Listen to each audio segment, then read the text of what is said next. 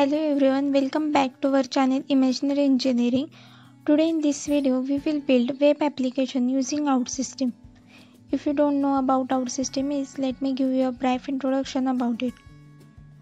OutSystem is low-code development platform that allows you to build a web and mobile application with a visual design and minimal coding. You just need to drag and drop the things it will automatically generate a HTML and CSS code for you so let's start. I have noticed that beginners often find it difficult to understand how to use APIs in OutSystem. So today in this video I will show you how we can use the APIs in OutSystem and perform all the CRUD operations. First let me show you the app and then we start. We can see the form here. Let's provide these details name, blood group, age, and when we click on this save button data will save in database. On the right hand side we can see that data is displayed in a table format. Let's click on save. Data added successfully. We got the message. Let me refresh once. Here we can see data is added here. If i click on this pencil icon from here we can update the data also let's change the name blood group and age and click on the save button. Here we got the message updated successfully. And here we can see data has been updated successfully. If i click on the delete icon then it deleted that particular data. Let's go back to OutSystem to create an application. Click on this new application and I'm going to build it from scratch. Here you can have the multiple options. Let's select this reactive web app since we are developing the web application. Here we can give the our application name. Let's say employee app. You can also upload the icon by clicking on this upload icon button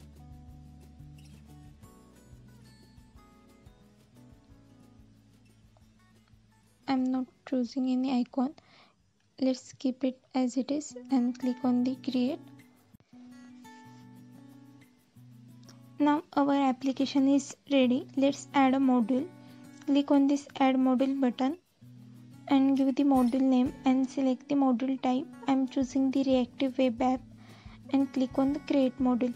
Now first uh, we need to add a screen here. So there is a two way right click on this main flow you can see the option for add screen add block. Just select that.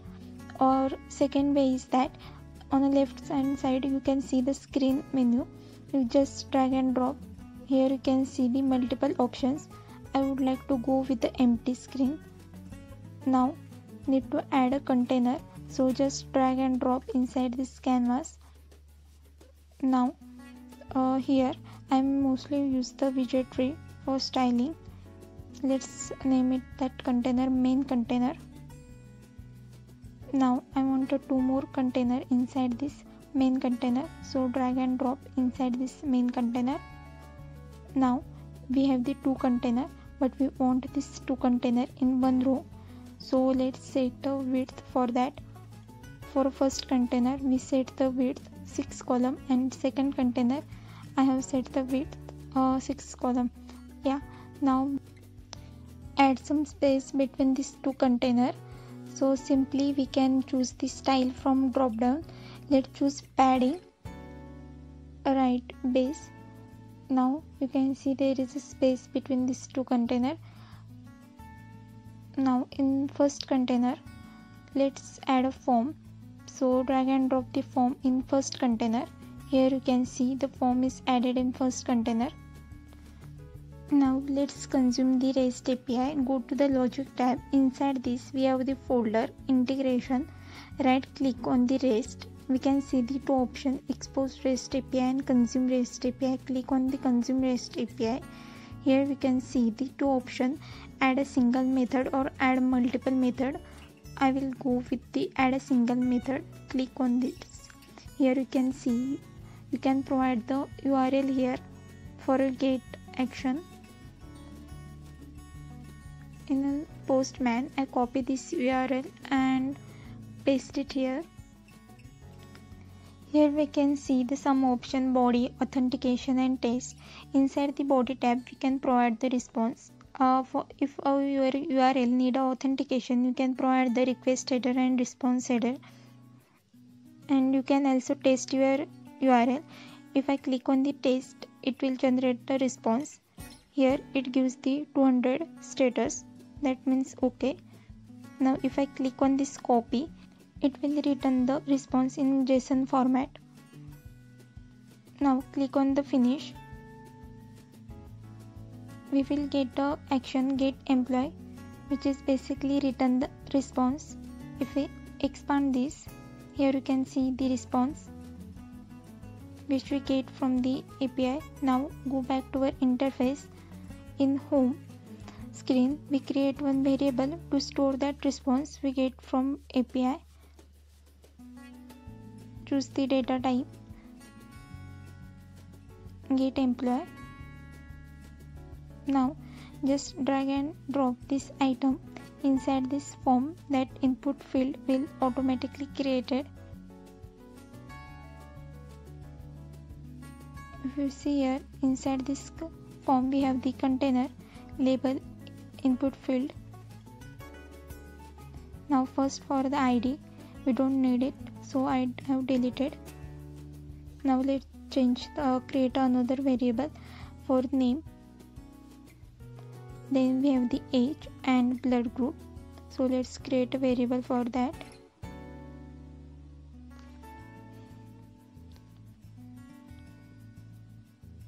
let's create one more variable for employee id change the name. Let's say employee id give the data type. Uh, text. Now uh, change the data type for the age name and blood group. Here we rename the label. First field is for name. Choose the name variable from the drop down now for the second field for age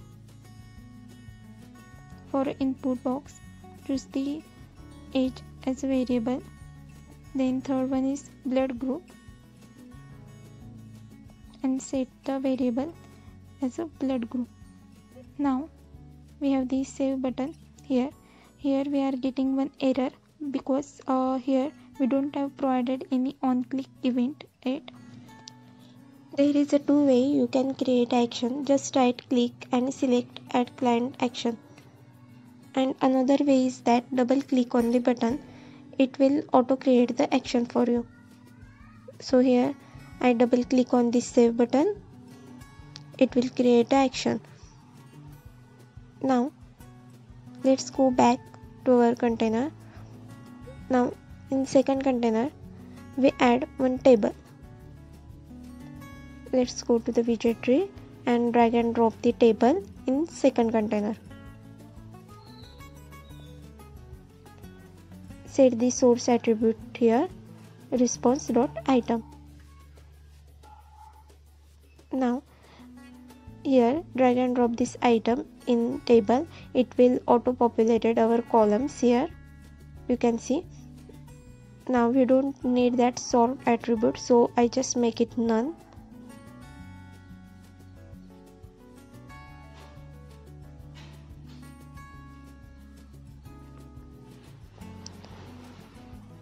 if I expand this table you can see header row and row. The first row is for employee ID second row is for blood group third row is for age and fourth row is for name. We want that for name should be a second column so let's rearrange that. Now rename this column name. First column is employee ID.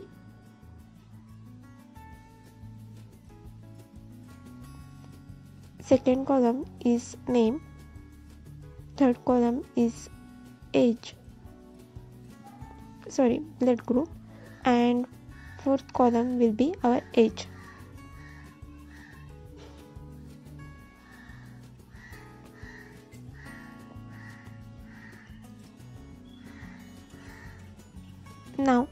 next we want this uh, table item will be loaded when first time our page is load. So inside this screen we have the methods like uh, on initialize on ready. So uh, go to our home component home screen and select the event on initialize. So our table will get loaded when our screen is initialized. Drag and drop this get employees action which return one response. To save this response in response variable, we drag and drop this set variable. Set the value for this response variable as a get employees dot response. Now we are ready uh, click on this uh, publish icon it will take some time to upload it.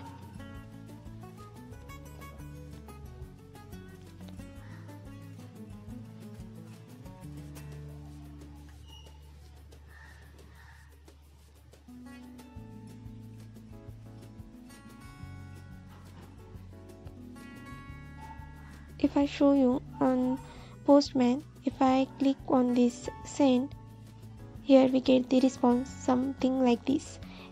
Blood group age name employee. ID here you can see. Now let's go back to our ID yeah it's published. Now click on open in browser.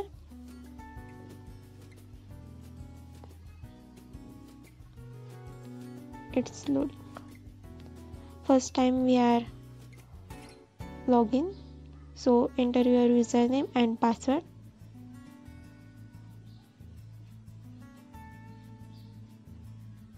Here you can see all the tables items are loaded here. Now next we want when we enter the name age blood group and click on save all the data will be reflected in item. So let's go back to our id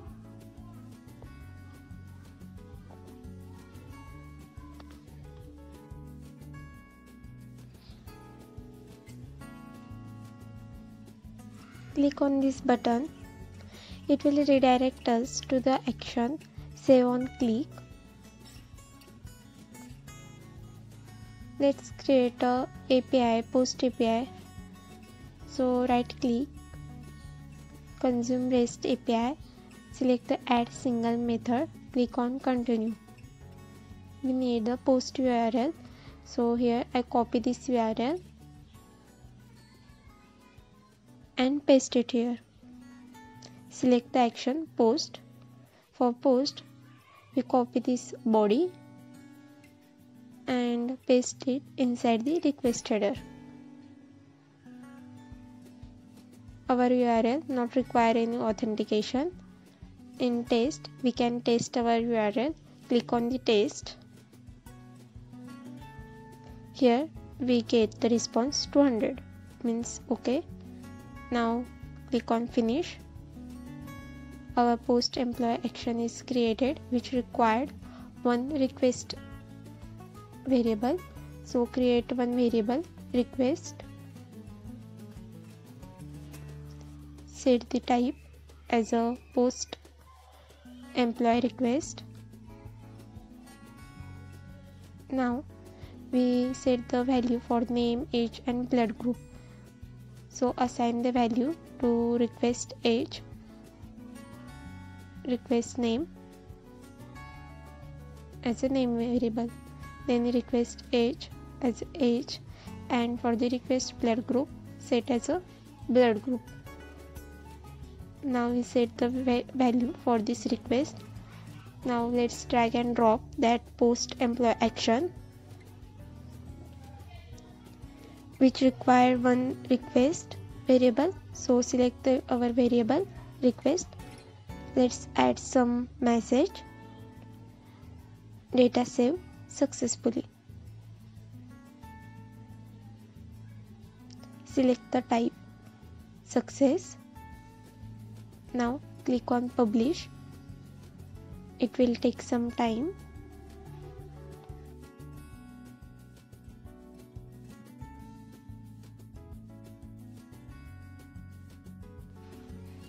here. Enter some dummy value. Name as a Maria. Enter the age 12 blood group let's say a positive.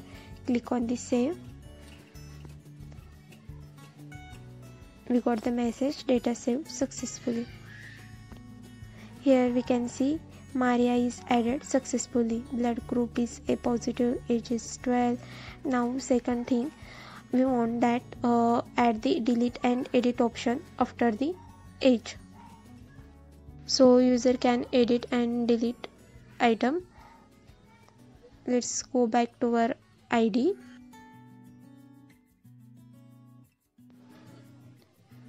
go to a home screen. Here after the age add one more column for delete and edit icon. Search the icon drag and drop this icon. Search for the edit icon. Select this and then add one more icon for delete.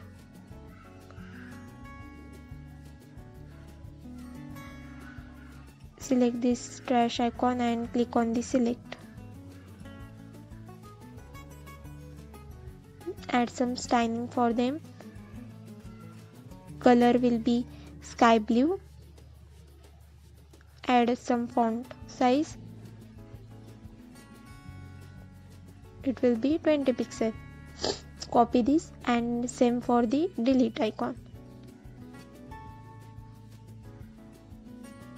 Color will be red. Now we want some space between them. So add some margin right. Choose the select style from the drop down. Then choose the margin right base. Here the space is added. Now we want when we click on this pencil icon pop-up will be open. So search for pop-up and drag and drop this pop-up.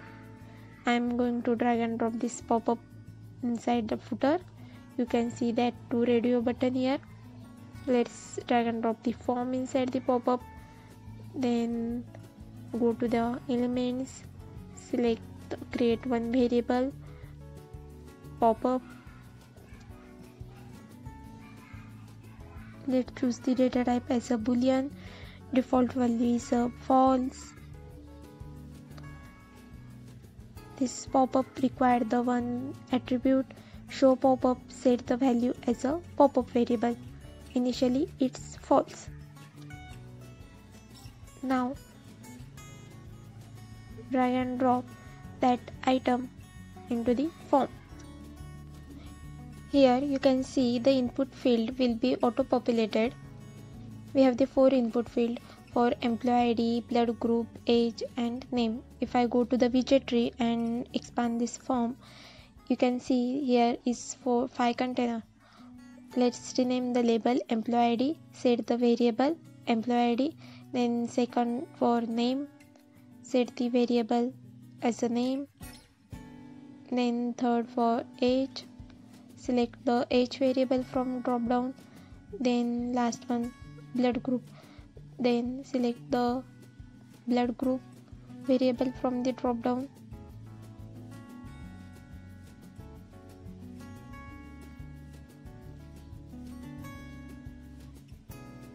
Now in the last container we have the button if I double click on this button it will create a action for us. Here we have the action. Let's give some proper name. Let's say edit on click.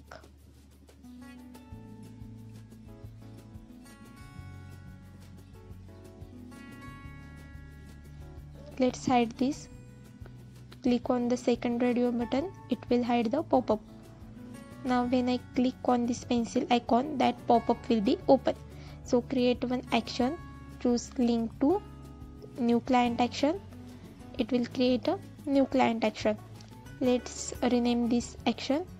Let's say link edit on click. Assign a variable. So set the value of that pop-up variable to true. So when user click on that pencil icon pop-up will be open. Also let's set the value for the rest of our name set to as a current selected name.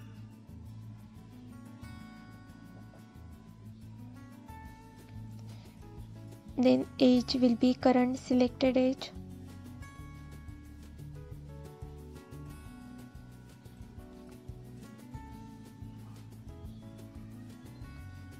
And last one is a blood group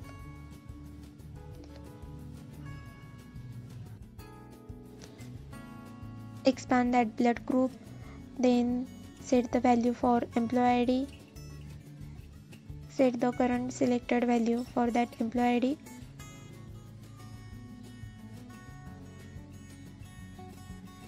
now let's go back.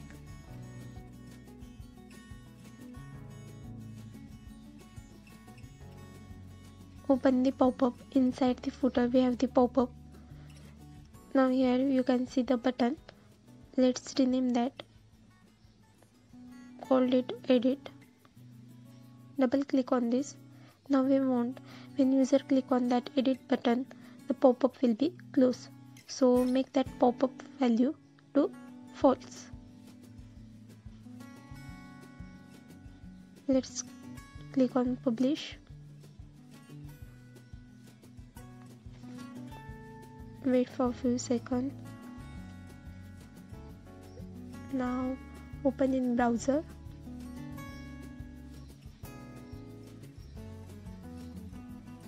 Here if I click on this pencil icon the pop-up will be open. And if I click on the edit button that pop-up will be closed.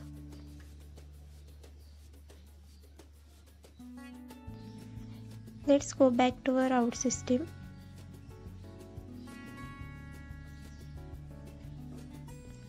now we want the url for edit. So copy this url.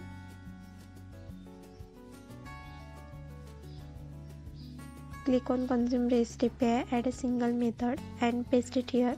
Choose the put option. Now it required the request header. Copy this body part and paste it here. You can paste it or directly click on finish button so it create the put employee action. It required one request header. Now let's create variable edit request. Edit employee. Change the data type to put employee. Request. Now we want to set the value for this edit employee variable so choose the edit employee employee id set the value to employee id then same for age then we have the name and blood group. Set the value for all of these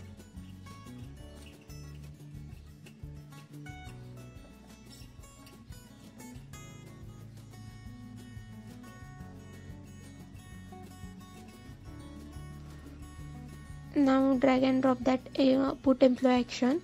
It require one input variable. From drop down select the edit employee. Now add one message here. Edit successfully.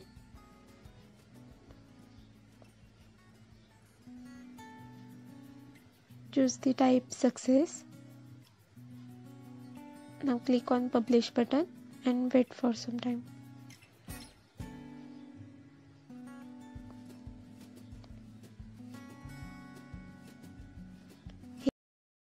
in browser.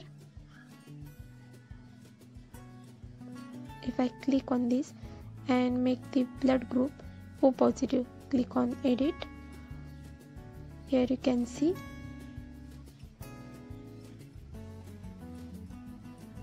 Data is edited. Now blood group is O positive. Let's go back to our ID now we want to add a delete functionality. Go back to our home screen. When user click on that delete icon user will be able to delete. So let's first create the action for that. Let's call it uh, link delete on click. Here you can see the shortcut plus icon where you can add the set variable client action. Now for delete first we need to add API for that. Consume REST API add single method paste our URL here choose the delete option. It requires the body copy this and paste it in request header. Now click on finish. It create a delete action for us which require one request header. Now create a input variable for request. So let's say delete employee and change the data type.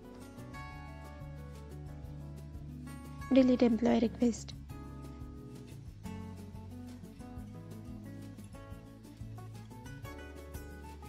Now let's set the variable for that delete request.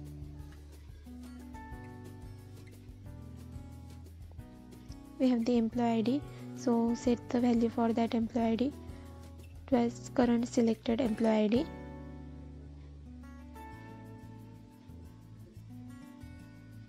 Drag and drop that delete employee and set the value for this request. Select the delete employee from drop down.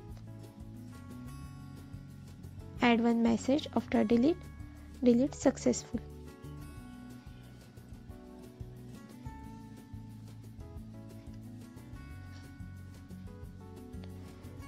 choose the type from drop down. Let's say success. Click on publish button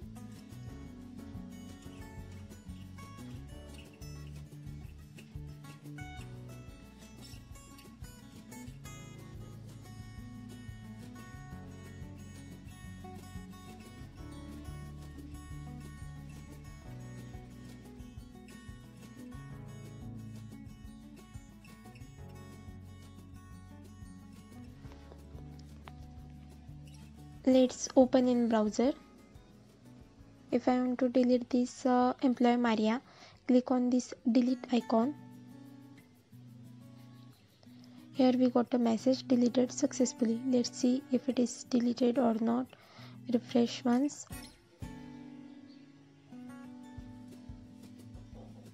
Here you can see the Maria has been deleted here we perform all the CRUD operation edit, delete, add. I hope you enjoy this video and learn something new. So don't forget to like, share and subscribe to Imaginary Engineering. And thank you for watching.